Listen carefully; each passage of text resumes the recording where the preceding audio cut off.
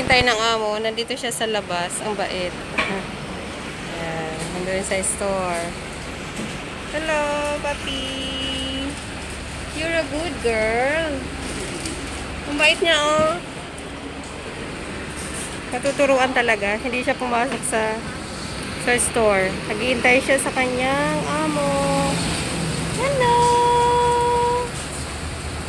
Hmm. Parang tao, nakakaintindi.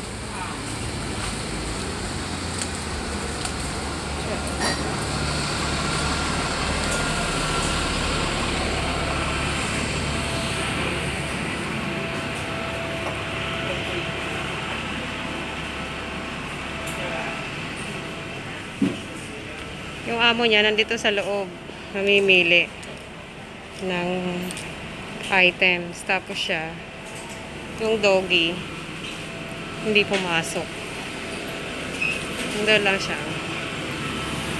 Ayun, naghihintay siya ng kanyang amo. Hello.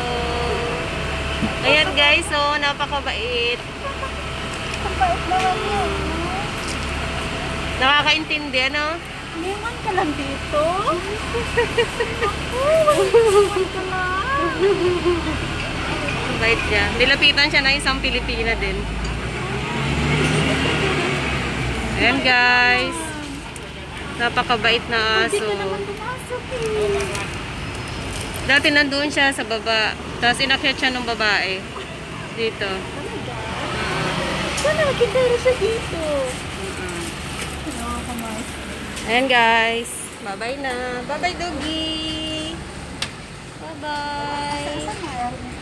Nasa loob. Talaga?